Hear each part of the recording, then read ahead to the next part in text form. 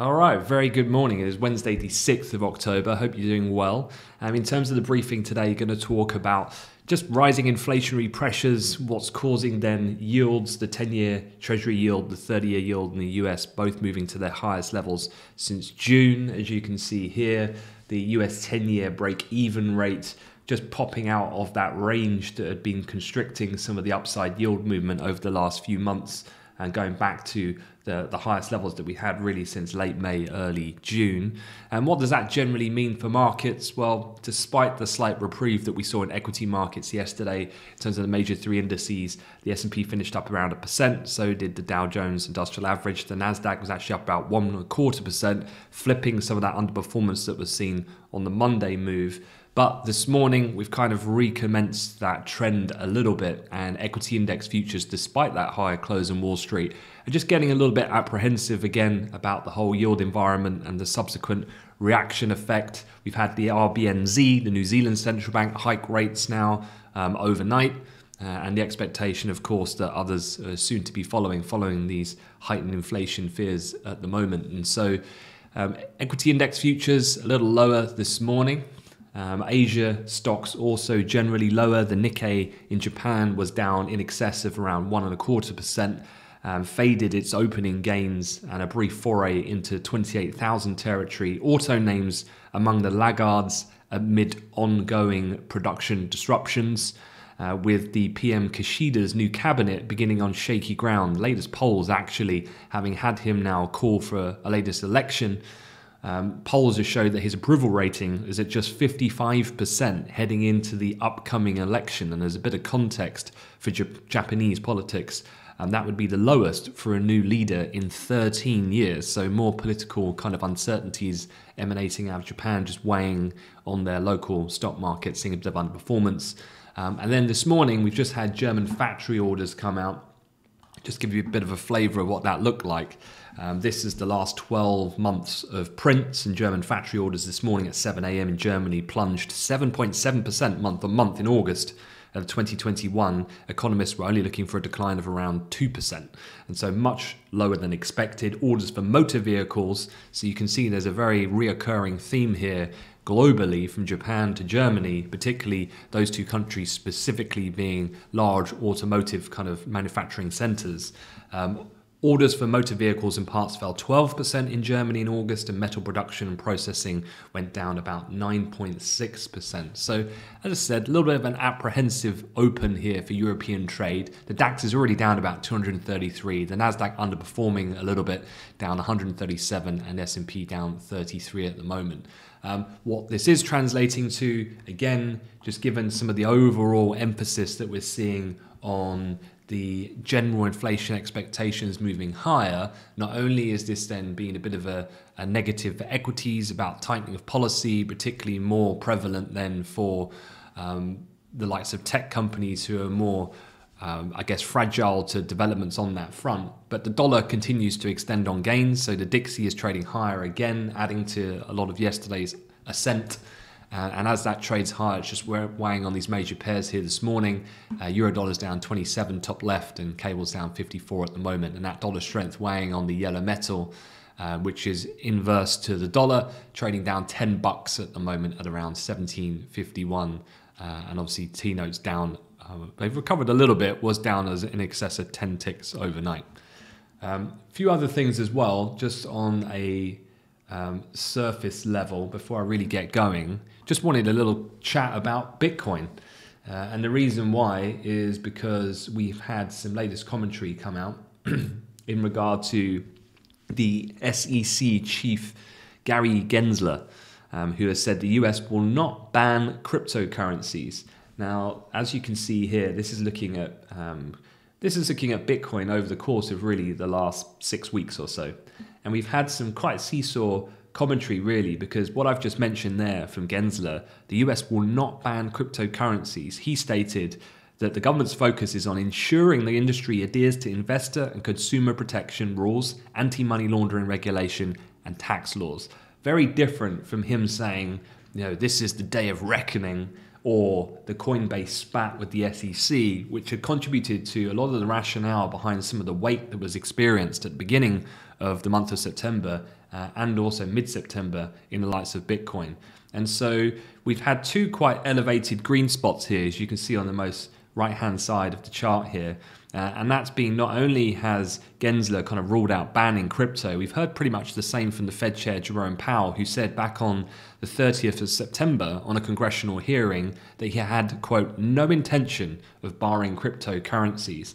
And I was reading a research note out of Bank of America, and again, to just add a layer of context, their strategists were talking about how more regulation, people have often thought more regulation would be negative for crypto in general, but Bank of America's take is the opposite. In fact, more regulation could be positive for the long run, at least. Uh, once rules are established, the uncertainty then on over how to invest in crypto will be lifted. And as such, then, given it might be there's more protection mechanisms in place, more oversight, that will mean that there's more general, broad uptake and adoption of crypto in general, and therefore long term is positive. And so, what does that look like this morning? Well, we looked at the Bitcoin chart obviously at the beginning of the week, and that's still looking fairly bullish at the moment. We've haven't come up quite yet to test that high that was seen back on the 7th of Sep, looking at the Bitcoin future here. Uh, but certainly that's what's in sight at the moment, uh, and definitely keeping an eye on that as we trade around the 52k mark in Bitcoin futures um, this morning. Um, otherwise, a few other things just to get up to speed on on the news front. Um, we've had the latest about Jerome Powell's reappointment. I wouldn't see this as market moving for this morning, but certainly it's worth keeping up to speed with this because uh, obviously it's a super important factor for policy setting going forward over the foreseeable future. And Powell has the backing apparently of more than half of the Republicans who sit on the banking, the Senate Banking Committee. Uh, support that could see him earn a second term to lead the central bank, despite some of the sharp criticism you might have been reading from the likes of the Democrat Elizabeth Warren uh, of late, who's been very critical about um, loosening of regulation, his leadership, insider trading, kind of what we've been seeing most recently with Clarida at the weekend. Um, and so there are quite a quite a few vocal um, opponents, let's say, in a Democratic Party to that. Um, Biden is yet to announce his nomination, but the White House has come out overnight and basically stated that Biden's confidence or has confidence in the Fed chair for the time being. Um, and Powell's term obviously expires in February, so this is a decision we're expecting um, shortly. The growing support from the Republicans, though, going back to what this headline suggests, means that Powell may be able to get confirmed again in the 50 50 obviously split that exists at the moment in the Senate, even if a handful of Democrats oppose him anyway. So um, the point being then is that for now, I mean, I have been seeing quite a lot of um, PredictIt, which is a kind of political betting site, seeing the odds decline quite sharply for Powell over the last few weeks.